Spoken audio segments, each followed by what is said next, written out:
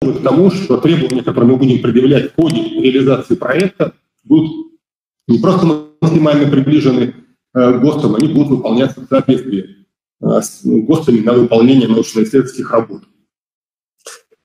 Э, давайте дальше.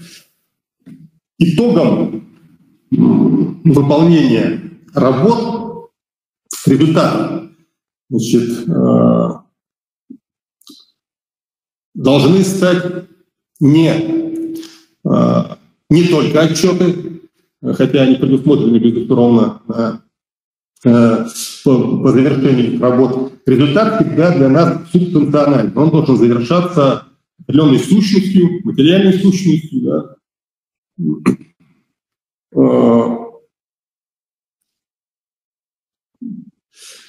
Значит, с точки зрения показателей, ну вот здесь такие сущности введены как прототипы электронной компонентной базы и образцы материалов.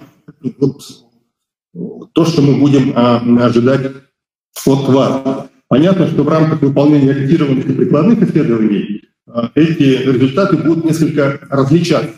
Да? В ориентированных исследованиях минимальный, э, минимальный ну, что ли, результат, который мы ожидаем от вас завершается лабораторным образцом, а вот в прикладных исследованиях это либо экспериментальный образец, либо опытный образец, либо опытная партия материалов. Понятно, что ну, для разных направлений, э, условно говоря, для технологии, системы автоматизированного проектирования, оборудования материалов, это будут разные функциональные результаты. Э, но э, вот здесь переходим к некоторому существенному моменту, то, что отличает нынешние конкурсы от всех ранее проводимых конкурсов а, Российским научным фондом.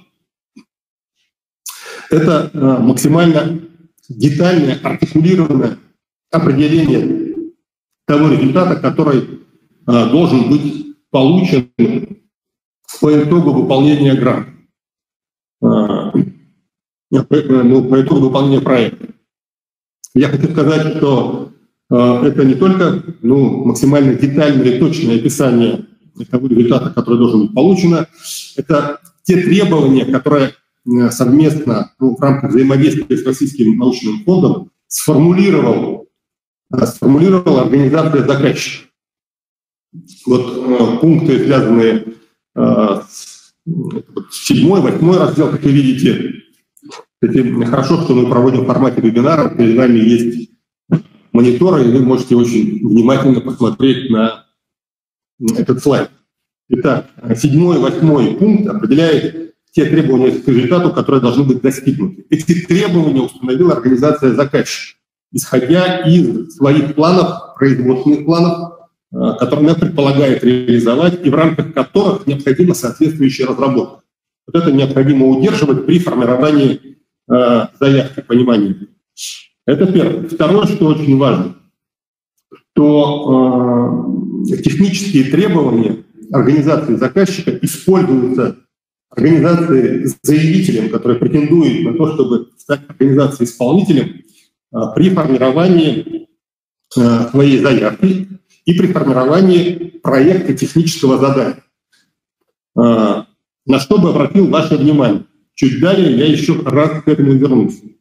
Фактически вот в рамках пункта 7 технических требований организация заказчик отвечает на вопрос, что она хочет получить. Это очень важно. В рамках пункта раздела 8 а, организация заказчик устанавливает общие требования к тому, как она хочет а, это получить. Мы еще будем останавливаться на форме, связанной с техническим заданием, но сразу хочу указать на то, что э, фактически э, вот раздел тем, который определяет требования к результату, во-первых, они полностью переносятся в проект технического задания, которое формирует организация заявителей в рамках данного конкурса, и не может быть изменено. Эти, эти требования не могут быть изменены. В какой части? Они не могут быть уменьшены, сокращены, удалены. Э, параметры могут быть расширены, уточнены, э, но вот это сокращение требований к результату недопустимо. Это будет рассматриваться как нарушение э, требования к представлению заявки. А вот раздел 8, который также частично составляет из себя последующее техническое задание на выполнение, э, конечно, является в большей степени прерогативой организации исполнителей. Она может раскрыть э, подходы к реализации э, выполнения задания. И фактически раздел 8 ну, вот здесь задает требования к тому, как со стороны организации заказчика видится исполнение. Но вот при формировании технического задания, при формировании соответствующей формы, организация исполнителя, конечно, имеет возможность здесь насытить э, и представить ну, расширенное представление о том, как предполагается выполнение соответствующих работ.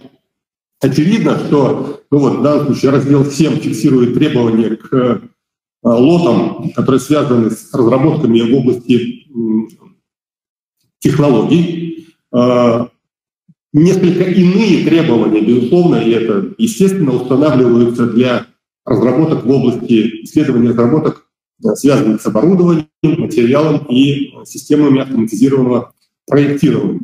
Сразу хотел бы обратить ваше внимание, в данном случае нужно относиться к конкурсной документации, она насыщена сносками.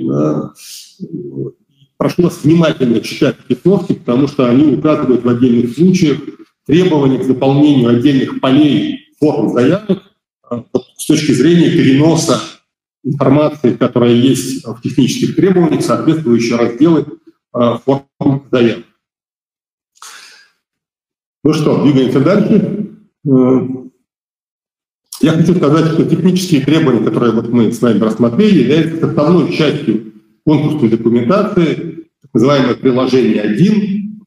Можно еще посмотреть конкурсную документацию и увидеть, что фактически для каждого из семи объявленных конкурсов именно приложение 1 составляет основной объем э, тех требований, которые э, ну, определяют условия проведения э, конкурса. Итак, немаловажное требование в нынешних семи конкурсах – это наличие софинансирования проекта. Обратил бы ваше внимание, что софинансирование проекта обеспечивает организация заказчик, это первое. Расходы организации заказчика должны быть учтены. Это означает, что организация заказчика, как организация исполнителя, должна вести раздельный учет расходов в рамках выполнения проекта. А, к учету в качестве финансирования а, попадают те расходы, которые направлены на реализацию мероприятий, предусмотренных планом графика. В смысле, план график становится основой, которая актуализирует и валидирует ну, расходы, которые выполняет организация э, заказчика, которая претендует на то, чтобы считаться э, вкладом в софинансирование э, проекта. Объем средств, который организация заказчик должна предоставить в качестве финансирования, небольшой, но все же есть, он 5%, не менее 5% должно быть предоставлено. Предусмотрено две формы финансирования. Ну, собственно, денежные средства стандартные, когда организация заказчик просто передаст средства на выполнение отдельных мероприятий плана графика организации исполнителю, она сможет их выполнить. Но, я понимаю, основной интерес для всех, для организации исполнителей, организации заказчиков, возможность зачета качестве вклада средств, э, которые э, понесет в качестве затрат организация заказчика. И здесь э, в конкурсной документации мы постарались настроить систему, чтобы она видела эти средства, которые разумным образом могут быть потрачены организацией заказчика. Какие же это? Это вот стоимость использованных материальных запасов, это сумма начисления амортизации и затраты выполнение сторонними организациями э, отдельных работ, которые могут, которые являются основной частью э, плана графика выполнения работ по проекту. обращаю ваше внимание, что не все э, средства, в зависимости от источника, могут быть зачтены в организации заказчика. Это традиционное требование практически во всех конкурсах, которые идут за счет средств федерального бюджета.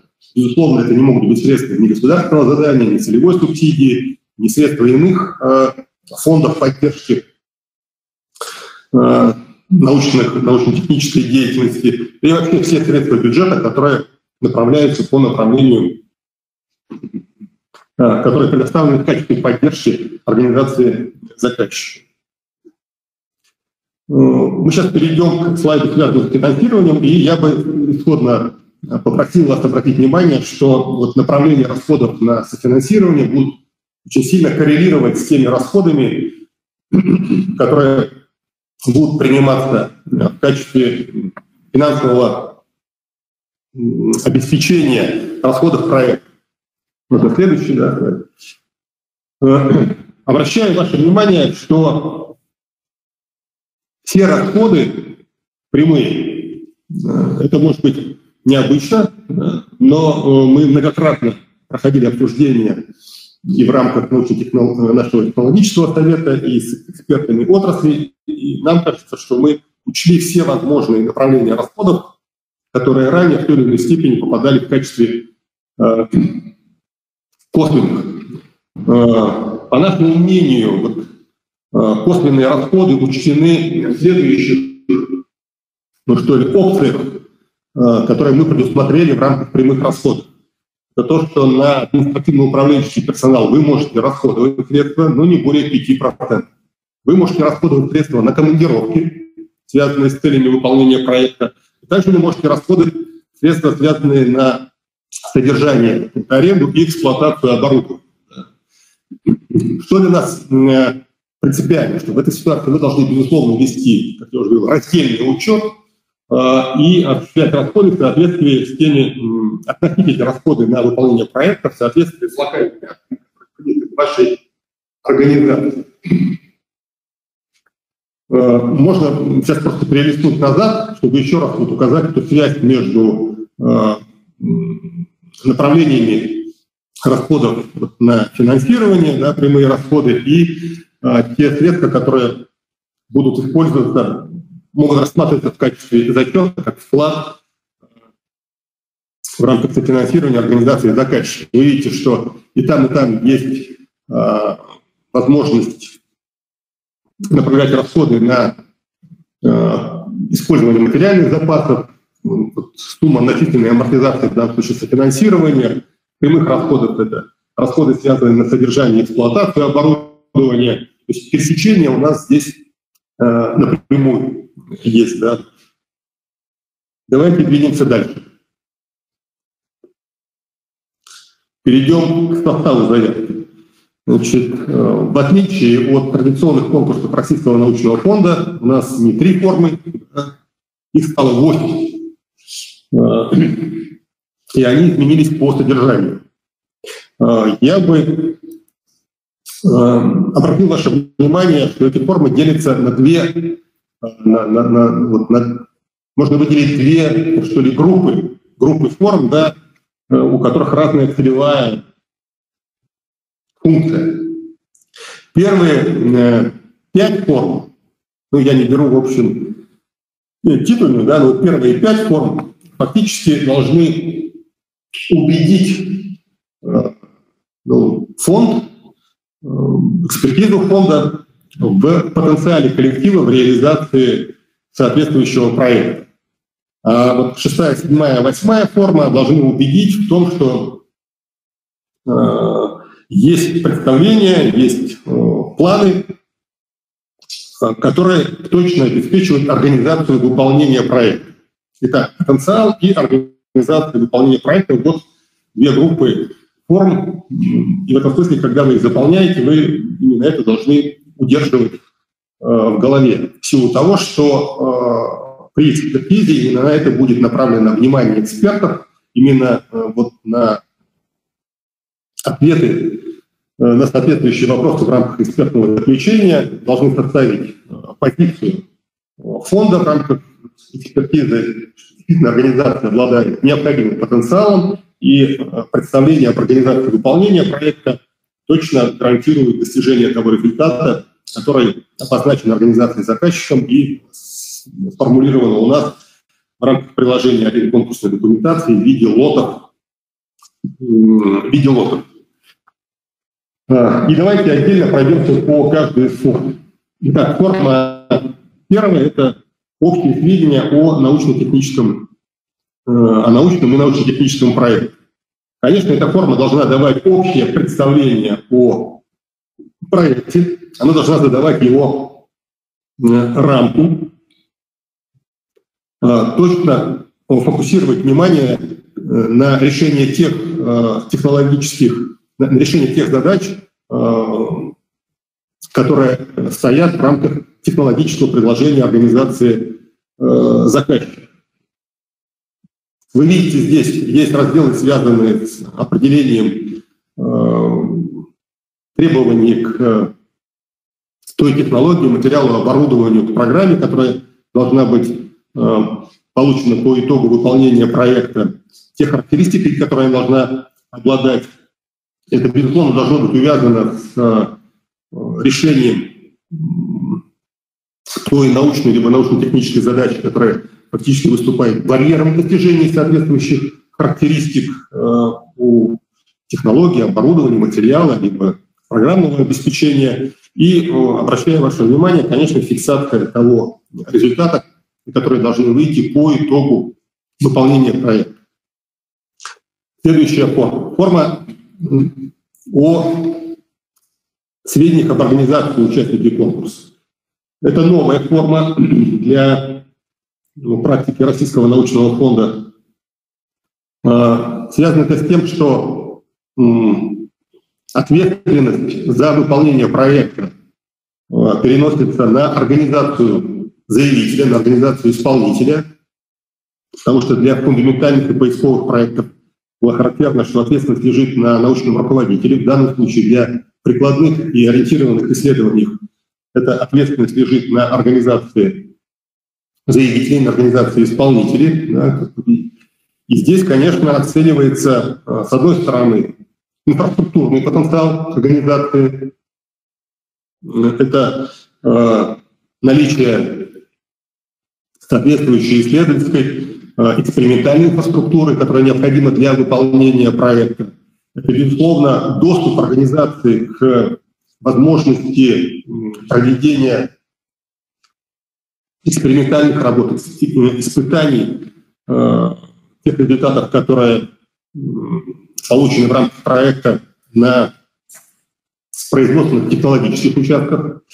Это, безусловно, опыт выполнения прикладных и опытно-конструкторских работ, которые есть у организации. И немаловажно для микроэлектроники уж точно, это Э, наличие организации сертифицированной системы менеджмента качества, которая ну, обеспечивает достижение определенного уровня качества при выполнении исследований и разработок.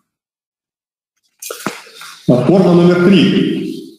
Сведения о, о руководителе проекта. Традиционная форма для Российского научного фонда, но здесь бы обратил ваше внимание, что помимо традиционных традиционной информации, которая характеризует руководителя как научного руководителя, как имеющего определенный бэкграунд в исследованиях, который выражается, безусловно, в статьях, выражаться в патентах, отдельно требуется представление информации о его участии и руководстве на выполнение прикладных и опытных конструкторских работ. Э, в форме номер 4 э, необходимо представить сведения уже о коллективе, который будет принимать участие, ну, то есть который непосредственно будет выполнять проект. И здесь, помимо того, что необходимо показать тот опыт, который есть у этого коллектива выполнения прикладных и опытно-конструкторских работ, работ, связанных с э, взаимодействием с э, производством. раскрыть коллектив, указав ту часть, которая будет заниматься исследовательской частью, та часть, которая возьмет на себя выполнение инженерно-технических задач, и те, кто будет выполнять задачи, связанные с администрированием проекта. Отдельно бы обратил ваше внимание, что есть раздел, связанный с описанием организации системы управления в проекте и распределения ролей. Для нас это важно, чтобы э, у заявителя было понимание, э, кто э, из участников коллектива, какими, какая зона ответственности конкретно у каждого участника коллектива. И вот завершающая форма вот, вот, в группу, связанную с оценкой потенциала, это форма очень большая, форма 5, содержание проекта. А, что ли, ключевая цель, ключевая задача данной формы – это убедить а, экспертизу, убедить заказчика, организацию заказчика в том, что коллектив точно знает, как достигнуть требуемого уровня зрелости технологий. В данном случае мы выделили здесь две группы позиций, они находятся в определенной связи между собой. Это вот позиция с 5.1 до 5.5 и с 5.9 до 5.12. В форме есть ряд других позиций, но я бы обратил ваше внимание именно на эти две группы позиций. Э, значит, если вот вторая, начну со второй группы позиции, текущего уровня зрелости технологии до э, того уровня, который э, необходимо Э, достигнуть. Важно, чтобы коллектив продемонстрировал, что он э, обладает, во-первых, заделом в, с точки зрения э, технологической разработки, которая представляет, и у него есть веские аргументы относительно того, что он готов достигнуть требуемого уровня зрелости технологий, тот, который запрошен организацией заказчика. И первая группа, она фактически должна подтвердить через раскрытие научной составляющей э, то, каким образом предполагается обеспечить ну, достижение соответствующего вот, целевого уровня зрелости, исходя из решения конкретных исследовательских задач и той э, методологии, которая будет использована при решении этих исследовательских задач. Э, давайте перейдем к следующей форме. Она начинает вторую группу, которая должна определить подходы к организации выполнения проекта, которая фактически в последующем станет основной частью соглашения. Это техническое задание, это план график выполнения работ и э, смета выполнения работ. Э, вот я надеюсь, что вам всем хорошо видно, потому что вы сидите перед мониторами. Пришлось именно таким образом изложить. На слайде вы видите практически две составляющие. Это технические требования, которые лежат в приложении 1. Это характеристики лота, на которые объявлен конкурс. И э, вправо техническое задание, структура технического задания, которая э, представляется как э, шестая форма в рамках э, пакета э, заявки на в рамках проводенного конкурса. Э, как я и говорил, отдельные разделы из э, технических требований э, напрямую кодируют в техническое задание. Вот раздел 7 из э, технических требований переходит соответствующий раздел, это раздел 4, технического задания, которое определяет технические требования к результату, отвечает вопрос «что?». Мы это и видите, что есть ряд разделов, которые попадают да, в раздел 8 из технических требований, они кочуют в раздел 5 и в раздел 7 в э, техническое задание. В то же время, еще раз хочу сказать,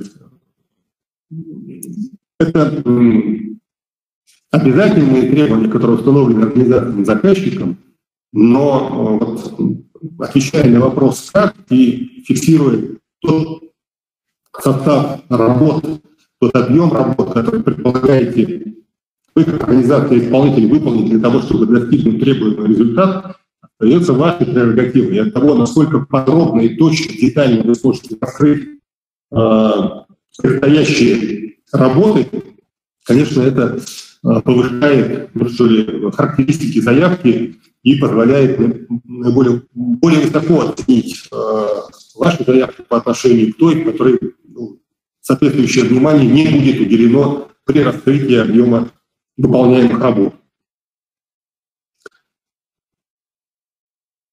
Так, давайте перейдем дальше. Значит, форма седьмая – это план график выполнения работ. Он фактически является основанием, с одной стороны, распределения работ по этапам, и в этом смысле э, позволяет вам хорошей основой для, с одной стороны, обоснования и учета софинансирования в рамках этапов и выполнения отдельных работ, финансирование по которым предполагается осуществить за счет средств либо вклада э, организации заказчика. Ну и, наверное, что более важно для вас, как организации-исполнитель, это составить качественную э, смету да, и в последующем э, подготовить качественный э, план совместных работ, который фактически детализирует э, выполнение работ, которые будут представлены в плане графика, в данном случае в плане графика выполнения. Вы видите, что здесь э, в рамках этапов увязаны э, планируемые работы, они увязаны с объемами финансирования, с объемами софинансирования, а также с теми отчетными документами, которые вы э, должны представлять в рамках промежуточных ну, контрольных срезов, в рамках выполнения отдельных этапов, и которые позволят и вам, и нам ну, настроить систему контроля и мониторинга реализации э, проекта. Ну, давайте подойдем к завершающей э, форме. Это форма сметы расходов. Она построена по направлениям э, расходов, которые предусматриваются. Еще раз подчеркну, что это прямые расходы. Вы ведете раздельный учет, э, учет общих расходов, общих хозяйственных расходов, которые вы относите на выполнение проекта, осуществляется в рамках тех локальных актов, которые есть в организации. Вы видите, что форма заполняется на все три этапа. Сразу хочу сказать, что э, условиями конкурса, условиями соглашения предусматривается возможность корректировки и сметы расходов, и плана графика, и в отдельных случаях даже технического задания, если соответствующее обоснование будет представлено. В этом смысле это не является некоторой такой а, догмой, которой вам предстоит идти все три года. А, ну и в завершение еще хочу сказать, что все взаимодействие в рамках заявки мы осуществляем с вами в рамках информационно-аналитической системы.